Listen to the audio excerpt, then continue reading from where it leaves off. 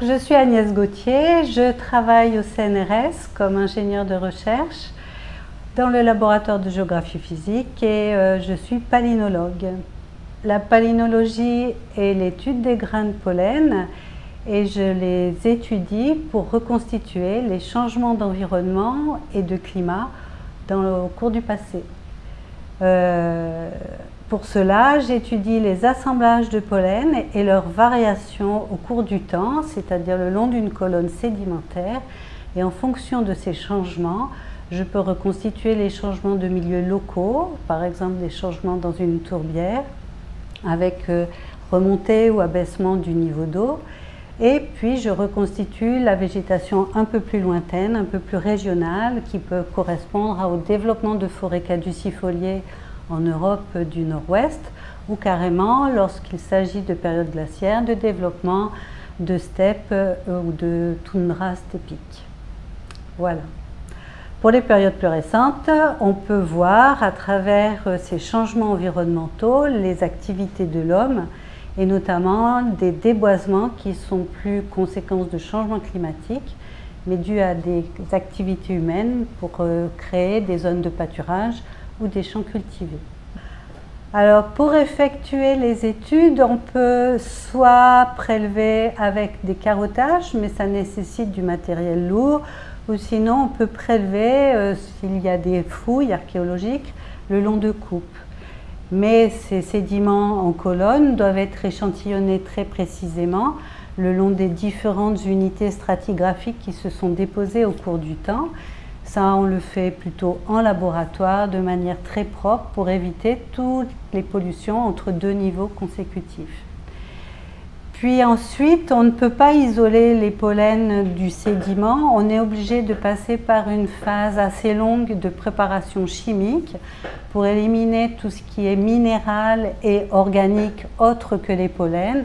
Donc on a à disposition différentes attaques, comme l'acide chlorhydrique pour éliminer le calcaire, l'acide fluorhydrique pour éliminer les silicates ou encore euh, la potasse pour éliminer la matière organique. Et à la fin de ces différentes étapes, qui durent sur plusieurs jours, on obtient un tout petit culot que l'on monte une petite partie entre lame et lamelle, comme par exemple une lame ici, donc vous avez un exemple. Pour obtenir un spectre pollinique qui correspond en fait à l'ensemble des pollens qui ont été produits par une végétation donnée sur le lieu de prélèvement, on est obligé de compter un minimum de grains de pollen, euh, autour de entre 300 et 500 grains de pollen. Et il faut aussi observer une bonne diversité des différents pollens rencontrés. Donc pour cela, euh, on fait une lecture en long de la lamelle à l'objectif 25 à immersion et toutes les déterminations se font en changeant d'objectif et en passant à l'objectif 100 à immersion.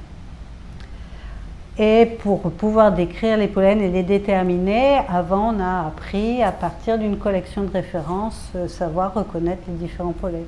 Donc on fait la lecture à l'objectif 25 à immersion qui correspond donc à l'objectif qui grossit 25 fois, mais comme les oculaires grossissent également 10 fois, ça fait un grossissement de 250 fois.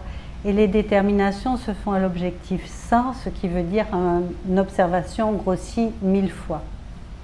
Il faut savoir que le pollen a une taille moyenne autour d'une quarantaine de microns dans la majorité des, types polliniques. Il peut y avoir des très gros pollens comme des plus petits, mais globalement c'est entre 20 et 40 microns. Voilà, on passe à l'objectif 100, ce qui nous permet euh, de mieux observer les différentes caractéristiques des pollens, comme par exemple celui-ci qui est un pollen d'orme et celui-ci qui est un pollen de chêne. Pour bien l'observer, il faut faire varier la vis micrométrique qui permet de voir les différentes faces du pollen. On voit le pollen d'orme qui a des pores et une exine verruquée. Et au-dessus, il y a un pollen de chêne. Alors, quand on est sur des sédiments fossiles un peu anciens, les pollens sont souvent un peu ratatinés et pliés mais on arrive bien à voir sur ce pollen les trois sillons qui permettent de voir que c'est un pollen de chêne.